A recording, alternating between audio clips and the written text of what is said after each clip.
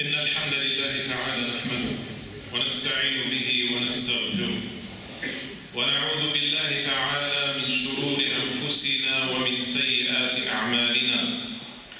من يهده الله تعالى فلا مضل له ومن يضلل فلا هادي له. وأشهد أن لا إله إلا الله وحده لا شريك له. وأشهد أن محمدا عبده ورسوله. وصفيه من خلقه وخليله بلغ الرسالة وأدى الأمانة ونصح الأمة وكشف الله به الغمة. فصل اللهم وسلم وزد وبارك على سيد رسلك سيدنا محمد وعلى آله وصحبه ومن اهتدى بهديه واستنى بسنته واقتفى أثره إلى يوم الدين يا أيها الذين آمنوا اتقوا الله حق تقاته ولا تموتن إلا وأنتم مسلمون يا أيها الناس اتقوا ربكم الذي خلقكم من نفس واحدة وخلق منها زوجها وبث منهما رجالا كثيرا ونساء. واتقوا الله الذي تساءلون به والأرحام. إن الله كان عليكم رقيبا. يا أيها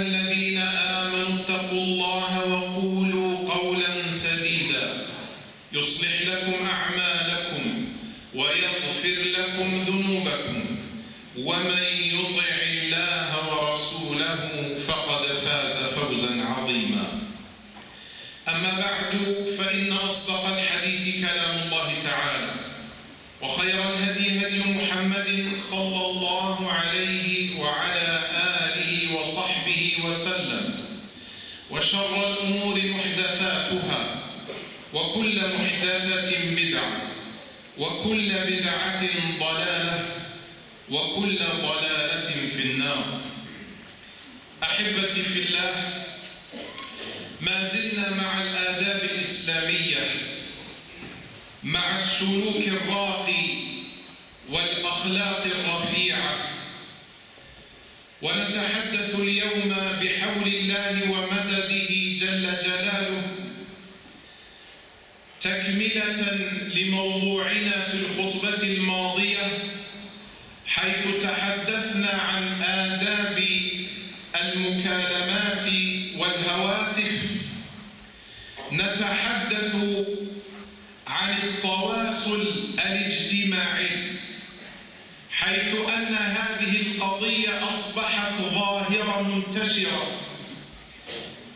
فجل الخلق يستعمل التطبيقات سواء على الهواتف الجوالة أو الحواسيب في البيوت ليتصل بأناس عن طريق هذه المنصات. والإسلام كما أسلفنا لم يترك شاردة ولا واردة إلا وبين الآداب والأخلاق. وهذا من عظيم مميزات هذا الدين. وهنا نفهم السر وراء حصر البعثة في تتمة الأخلاق حيث قال النبي المصطفى صلى الله عليه وسلم إنما بعثت لأتمم مكارم الأخلاق. فالأخلاق هي الغاية من هذا الدين والسلوك الحسن هي النتيجة الحتمية لهذه الأحكام الشرعية. هذه المنصات والتطبيقات التي تعرفونها جميعا مثل فيسبوك واتساب تويتر إنستغرام وهلم جرا هذه ليست بمنأى عن الإسلام وليست خارجة عن نطاق الأحكام الشرعية ولكن يا للأسف إننا نجد عند كثير من المسلمين من الآداب الشنيعة والأخلاق السيئة حينما يتعاملون بهذه المنصات وهذه التطبيقات. أول أدب وأول قضية هي أنه يجب أن نستعمل هذه الوسائل الحديثة لنشر الخير وعدم نشر الرذيلة. وهنا نجد أن بونا شاسعا بين الإسلام وأحكامه وبين حياة المسلمين في ذاك العالم الأزرق كما يسمى. يقول المولى جل في علاه إن الذين يحبون أن تشيع الفاحشة في الذين آمنوا لهم عذاب أليم في الدنيا والآخرة. فحذر الله جل وعلا من أن تشيع الفاحشة من أن ننشر الفواحش.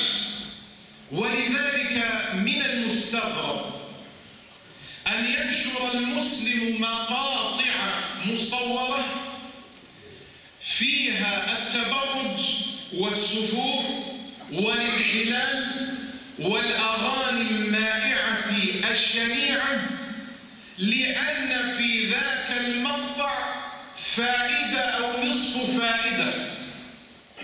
هو يريد أن ينشر معلومة ما إلا أن هذه المعلومة محفوفة بالموبقات. ومن سن سنة سيئة فعليه وزرها ووزر من عمل بها إلى يوم القيامة. اللهم اهدنا يا أرحم الراحمين. إنك أيها المسلم وبمجرد أن تضغط على الزر لنشر مقطع ما فأنت مسؤول عن محتوى هذا المقطع. لا يجوز لك بحال من الأحوال أن تنشر الحرام أن تنشر صور نساء متبرجات يرى الشعر والبدن أو تلك المعازف إلى غير ذلك. ولكنني أريد أن أنشر تلك المعلومة إذا لخص المعلومة واكتبها وانشر ذلك الأمر كتابة أو سجل صوتية وانشرها. هناك بدائل عديدة. فلا يجوز أولا أن ننشر الرذيلة هذا لو أن في هذا المقطع فائدة ومن باب أولى لو كان المقطع ليست فيه ليس فيه أي فائدة بل الميوعة والانحلال والانحطاط. نسأل الله السلامة والعافية. كذلك أحبتي من آداب استعمال هذه المنصات والمواقع للتواصل الاجتماعي التثبت في الأخبار. وهذه آفة أخرى يقع فيها كثير من الناس بمجرد أن يرى مقطعا ينشره. ولا يتريث ولا يبحث هل المعلومة صحيحة أم لا سواء أكانت المعلومة شرعية أو غير شرعية. فلا يجوز للمسلم أن ينشر ما لم يصح. ولذلك يقول المولى سبحانه يا أيها الذين آمنوا إن جاءكم فاسق بنبأ فتبينوا أن تصيبوا قوما بجهالة فتصبحوا على ما فعلتم نادمين. فلا بد من التثبت ومن التريث وهنا احتمالان إما أنك تعرف هذا الموقع هو موقع فلان من الناس وهو موثوق يعرفه الجميع يعرفونه بصدقه وبأمانته حينها يمكن لك أن تنشر ما ينشره هو. لكن إذا لم تعرف صاحب الموقع ولم تعرف منبع هذه المعلومة فلا يجوز لك أن تنشرها إلا بعد التثبت. لا سيما لو كان الأمر يتعلق بدين الله جل وعلا. واسمع هذا الوعيد الشديد من عند النبي صلى الله عليه وسلم حيث قال من كذب علي متعمدا فليتبوأ مقعده من النار. أي, أي فليهيئ نفسه فإن مقعده في النار. اللهم أجرنا من عذاب النار. كم من ينشر وصاحب هذا المقال لا يدري هل الحديث صحيح أم ضعيف. باطل لا أصل له أم أنه غير منقول من طريق الثقات بل بعضهم ينشر البدع بل ما يعارض أصول الدين. فلا بد إذن أن نتنبه لأن الذين سيستفيدون من هذه المعلومة أو سيقرؤون هذه المعلومة ذنبهم عليك. لأنك أنت الذي أوصلت هذه المعلومة إليهم. ولذلك لا بد من التريث. واليوم أصيبت الأمة بهذا الشرف لنشر أي شيء.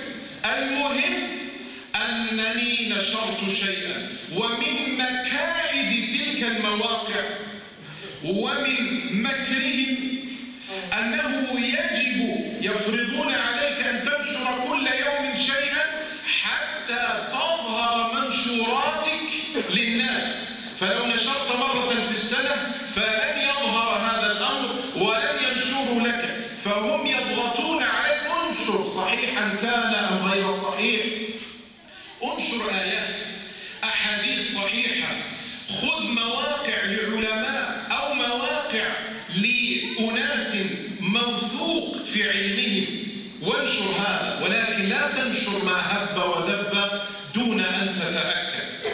وكذلك حذر النبي صلى الله عليه وسلم من نشر و والكلام في الأمور التي لا يتثبت منها الإنسان حيث قال كفى بالمرء كذبا أن يتحدث بكل ما سمع. يكفي كذبا أنك تحدث تسمع ولكن ربما فيه حق. نعم ولكن أنت تحدث كل شيء. كلما سمعت شيئا تنشره. كلما رأيت شيئا تنشره. هذا سماه النبي صلى الله عليه وسلم كذب لأنه يختلط فيه الحق والباطل. والمسلم مأمور بأن يتثبت قبل أن ينشر هذه الأشياء.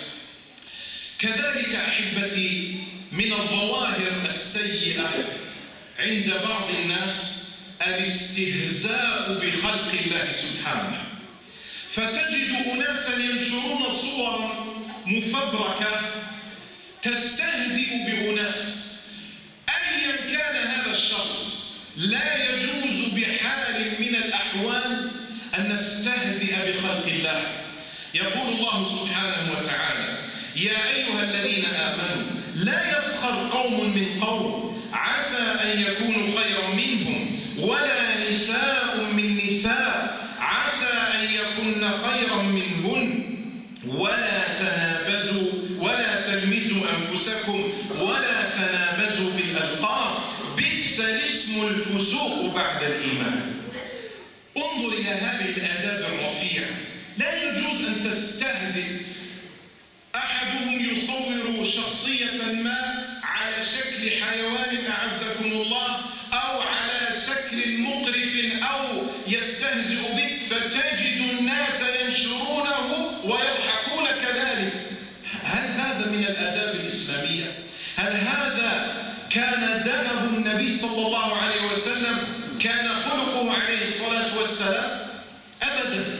فلا يجوز أحبتي أن نستهزئ بخلق الله. بل لا بد أن نراعي هذه الآداب الشرعية. كذلك أحبتي بعض الناس بعض الأشخاص مولع بنشر صوره. إذا ذهب إلى السوق نشر ذلك وإذا دخل إلى بيته نشر ذلك وإذا لبس حذاءه نشر ذلك. كل خطوة يقوم بها يصور ينشر. ستاتوس أو في أي مكان آخر. وهذا يدل على مرض وهو حب الظهور. والمسلم لا يحب الظهور. من أنا حتى أظهر حتى أظهر بين الناس؟ أنا الذي على عاتقي الذنوب والمعاصي. نسأل الله أن يتوب علينا. هل من الأدب أن أنشر صورتي في كل مكان. ثم ما هي الغاية؟ ما هو ما هي النية؟ هل تفعل ذلك بإخلاص؟ هل هناك فائدة؟ أنا أنشر لكي أوصل نصيحة ما. أريد أن أقوم بتوعية هذا أمر محمود. لكن بعضهم يريد فقط أن ينشر بين الناس انظروا أنا أسافر أنا آكل وأشرب أنا أمرح وأفرح. وهل يهمنا ذلك إن كنت تفرح وتمرح أم لا؟ ثم إن العين حق. ينبغي أن تنتبه ولذلك بعض الناس يضعون صور أولادهم من بنين وبنات منذ ولادتهم إلى أن يصبحوا شيوخا كل يوم. صورة جديدة ها هو يلعب ها هو يأكل. هناك من ليس له أولاد. يمكن أن يحسد ابنك. هناك من لا يستطيع أن يسافر إلى مكان ما. ممكن يجد في قلبه شيء. فلذلك أحبتي إن المسلم لا ينشر كل صغيرة وكبيرة. وبعضهم لا يستحي أن ينشر ذنوبه ومعاصيه. اللهم استرنا فوق الأرض وتحت الأرض ويوم العرض عليك. فهذه أحبتي أمراض. وهنا أحبتي ينبغي أن نهتم كذلك بالوقت الضائع. بعض الناس أحبتي إذا ما انتهى من التلفاز ذهب ليطرق في هاتفه ساعات عديدة. وهذه ظاهرة بين الأطفال والكبار والشيوخ والنساء. وهذا مرض ولذلك لما كان أبو الدرداء رضي الله عنه وهو كان يكثر من العبادات ليس من النظر في فيسبوك كان يكثر من العبادات رضي الله عنه فرآه سلمان الفارسي رضي الله عنه فقال فقال له إن لربك عليك حقا وإن ولأهلك عليك حقا وإن لنفسك عليك حقا فأعط كل ذي حق حقه لا ينبغي أن تقضي ساعات عديدة في الجوال وأمام التلفاز ساعة كاملة في الفيسبوك ثم تتمها بساعة الواتساب ثم تتمها بساعة على الانستغرام هل حياتك ستذهب سدى هكذا؟ أين الوقت لكتاب الله؟ ونحن سنستقبل رمضان بعد أشهر اللهم بلغنا رمضان اللهم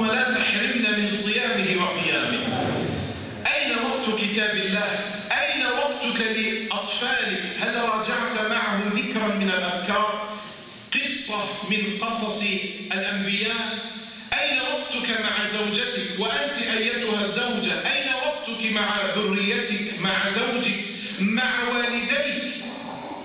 لابد إذا أن نضع حدا وهناك أخطار جسيمة يمكن أن يصاب الإنسان بالاكتئاب جراء استخدامه لهذه التطبيقات. نسأل الله عز وجل أن وأن يحسن أخلاقنا وأن يهدينا إلى الرشاد. أقول قولي هذا واستغفر الله لي ولكم فاستغفروه إنه هو الغفور الرحيم.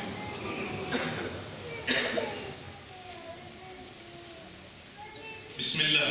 الحمد لله والصلاة والسلام على رسول الله وعلى آله وصحبه ومن اتبع هداه. أحبتي تقدموا بارك الله فيكم. nach vorne, liebe Geschwister, damit unsere Brüder einen Platz finden, sich hinzusetzen. Liebe Geschwister, heute reden wir über die sozialen Medien, nachdem wir das letzte Mal über das Anrufen gesprochen haben. Denn das ist ein Phänomen, das wir sehen, weit verbreitet. Jeder benutzt heutzutage Facebook, WhatsApp, äh, Instagram, Twitter und Co. Und hier gilt, liebe Geschwister, dass der Islam nichts ausgelassen hat.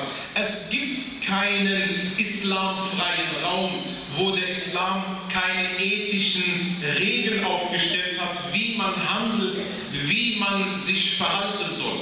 Und dies gilt auch eben für die sozialen Medien. Der erste Aspekt, liebe Geschwister, ist, die sozialen Medien sind nicht dazu da, um Verwerfliches zu verbreiten. Das heißt, du musst darauf achten, dass der Inhalt, den du hier verbreitest, islamkonform ist. Und es ist nicht islamkonform, wenn du Videos verbreitest, wo unbekleidete Frauen sind oder die mit Musik verbunden sind. Ja, aber ich wollte doch nur äh, eine Info äh, reden. Die reden da über Zinsverbot und das das Beste der Welt ist. Ja, aber da siehst du dafür 50 Frauen ohne Hijab, nur damit du den Leuten erklärst, dass Zinsen verboten sind. Das heißt, du musst darauf achten, dass dieses Video islamkonform ist. Ja, aber Entschuldigung, wo findest du heutzutage noch islamkonforme Videos? Ja, dann verbreite sie nicht. Aber ich wollte doch den Leuten erklären, dann schreib es. Schreib, ja, und die Nachrichten sagen, oder dieses Institut hat bestätigt, dass dies und jenes. Das heißt, achte darauf, denn jeder, der diese unbekleidete Frau sieht, dessen Sünde geht auf dein Konto. Weil der Prophet sallallahu alaihi wasallam sagte, wer eine schlechte Angelegenheit einführt, der bekommt die Sünde dafür, dass er sie überhaupt eingeführt hat, und die Sünde aller, die diese Sünde begangen haben. Das heißt, wenn so ein Video dann sich viral verbreitet, sagt man ja heutzutage, dann viel Spaß. Dann bedeutet das, dass du sämtliche Sünden bekommst, weil jeder Mensch diese eine Expertin sieht, die ohne Hijab ist. Und das ist ein Aspekt, auf den viele leider nicht achten. Und das gleiche gilt für die Musik, für diese Instrumente, die dann die halbe Welt hören wird, wenn du dieses Video verbreitest. Im Islam gilt, der Weg oder das Ziel heiligt nicht die Mittel. Wenn das Ziel islamkonform ist, dann muss auch der Weg dorthin islamkonform sein. Und deswegen ist das ein ethisches Prinzip. Du darfst nichts teilen, twittern, verbreiten und wie man das alles nennt heutzutage, wo der Inhalt nicht islamgerecht ist. Du möchtest diesen Inhalt aber den Menschen nahelegen, dann schreib es, mach eine kurze Zusammenfassung und schreibe es, dann haben die Menschen etwas davon, ohne dass du die Sünden bekommst. Der zweite Aspekt, liebe Geschwister, ist, dass man sich vergewissern soll. Und das machen leider die wenigsten. Alles, was man verbreiten kann, wird verbreitet.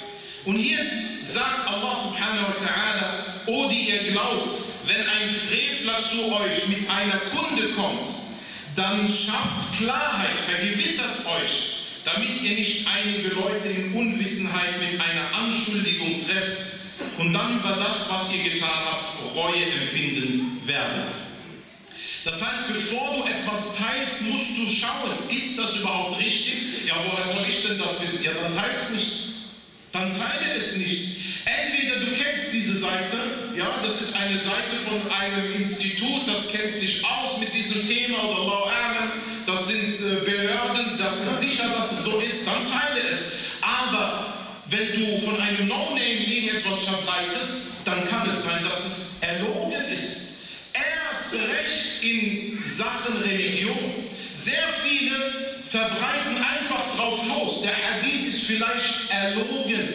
Diese Sache gibt es gar nicht im Islam, aber es ist schön, äh, der Flyer sieht gut aus, das Video wurde Hammer gemacht, also zack, klick und es wird verbreitet.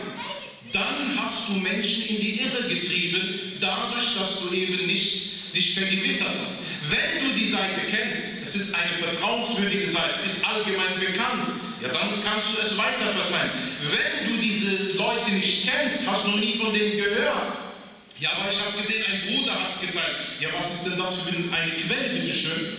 Ist, hat der Bruder sich vergewissert? Nein, hat er nicht. Ja, also verbreite du es nicht, sondern sage ihm, Habibi Barakallahu fik, bitte vergewissere dich erst einmal, bevor du etwas verbreitest.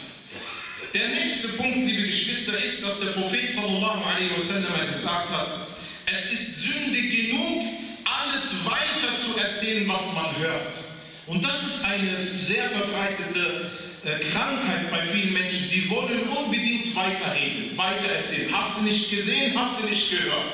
Aber der Islam sagte, nein, nein, du sollst nicht alles weitergeben, was du gehört hast. Es ist Sünde genug, sagt der Prophet sallallahu. Du musst nicht erst Schlimmeres tun, um in die, in die Sünde zu fallen. Nein, nein, schon aus, in die Sünde zu fallen, sagt der Prophet sallallahu alaihi wasallam, wenn du alles weiter erzählst, was du hörst. Du sollst nur das weiter erzählen, was richtig ist, was wertvoll ist, was informativ ist und nicht die Zeit der Menschen vertreiben, insbesondere wenn es unislamisch ist. Und hier gibt es leider viele die verbreiten Dinge, wo man sich lustig macht über Menschen. Ja, da macht man einmal mit Photoshop irgend so ein Bild und macht sich lustig über Menschen und verteilt das dann in der ganzen blauen Welt, wie man das nennt. Und das ist nicht islamisch. Wir dürfen uns nicht lustig machen über Leute. Wir dürfen nicht spotten über Menschen. Wir dürfen nicht verleumden. Wir dürfen keine Falschaussagen machen. Wir dürfen nicht bloßstellen. Das dürfen wir alles nicht.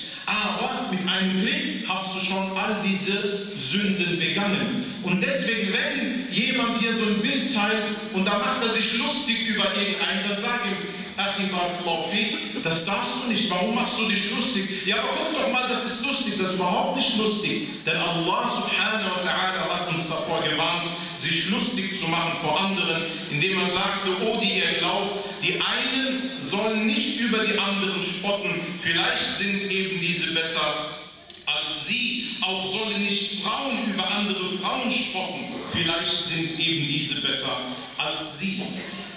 Ebenso ist ein Problem, liebe Geschwister, dass viele einen Drang dazu haben, sämtliche Fotos von sich im Status zu teilen. Da ist er mal raus aus der Wohnung, dann ist er wieder rein, jetzt ist er im Kinderzimmer, dann ist er in der Küche und er fotografiert und alles muss im Status geteilt werden. Also er hat hier Urlaub gemacht, dann ist er gerade am, äh, am Airport irgendwo und dann wartet er auf den Schalter. Wen, wen interessiert das denn bitteschön? Warum stellst du mir meine Zeit mit all diesen Informationen, die mich überhaupt nicht interessieren? Und du darfst nicht vergessen, es gibt Leute, die werden dir das nicht gönnen, sondern sie werden neidisch sein. Neidisch sein. Was ist Neid? Das heißt, sie werden sich wünschen, dass dir das weggenommen wird, dieser Urlaub, diese Kinder, insbesondere Kinder. Einige teilen die Bilder ihrer Kinder von Geburt an und dann ist ein Kindergarten und hier ist die Einschulung und die ganze Welt soll es sehen. In der Welt, liebe Geschwister, gibt es Menschen, die neidisch sind. Es gibt in der Welt Menschen, die dir das dir nicht gönnen. Schütze deine Kinder. Aber Rasul sagte, das böse Auge ist Wahrheit, ist Wirklichkeit. Sowas gibt es und das kann deine Kinder schaden. Und dann die nächste Frage, warum muss alle Welt wissen, dass du gerade einen Kaffee trinkst oder irgendwo im Urlaub warst? Warum musst du damit prahlen? Es gibt Leute, die können sich das nicht leisten, das tut denen weh. Warum fügst du ihnen diesen Schmerz zu? Alhamdulillah, Allah hat dir das gegönnt, Genieß den Kaffee, aber du musst doch jetzt nicht andere Personen damit verletzen, weil sie es nicht können. Du möchtest eine Nasiha, einen Ratschlag geben, bitteschön, das ist gut. Du möchtest eine Eier teilen, ein Hadith, der authentisch ist, das ist eine gute Sache. Aber dein Privatleben geht keinen Menschen was an und es hat keinen Nutzen zu wissen, wo du die ganze Zeit bist. Und deswegen ist es nicht islamisch, zu prahlen und der ganzen Welt zu sagen, was man hat. Und zu guter Letzt, liebe Geschwister, wie viel Zeit verschwendest du mit diesen sozialen Medien? Redest du noch mit deinen Eltern? Spielst du noch mit deinen Kindern? Hast du noch Zeit, um Koran zu lesen? Ramadan steht vor der Tür. Faste mal. Facebook-Fasten und Instagram-Fasten, dass du eben nicht so viel Zeit nimmst. Nimm dir täglich eine bestimmte Zeit, halbe Stunde, Maximum eine Stunde, dann werden die sozialen Medien nicht mehr angefasst Und der Rest des Tages ist für Allah, der Rest des Tages ist für die Familie, der Rest des Tages ist für dich, für deine Freunde. Das ist ein islamisches Leben. Möge Allah subhanahu wa ta'ala uns recht leiten. أحبتي في الله هناك بعض الأخوات المريضات فنسأل الله سبحانه وتعالى أن يشفيهن شفاء لا يغادر سقما اللهم اشف مرضانا ومرضى المسلمين اللهم عجل بشفائهم يا أرحم الراحمين. اللهم ارفع عنهم البلاء. اللهم بارك لهم في الدواء. اللهم بشرهم بشفائهم عن قريب يا مجيب. اللهم انصر الإسلام والمسلمين. اللهم أعز الإسلام والمسلمين. اللهم اغفر للمسلمين والمسلمات والمؤمنين والمؤمنات الأحياء منهم والأموات. اللهم إنا نعوذ بك من علم لا ينفع ومن قلب لا يخشع ومن عين لا تدمع ومن دعاء لا يسمع. وصل اللهم وسلم وزد وبارك على نبينا محمد وعلى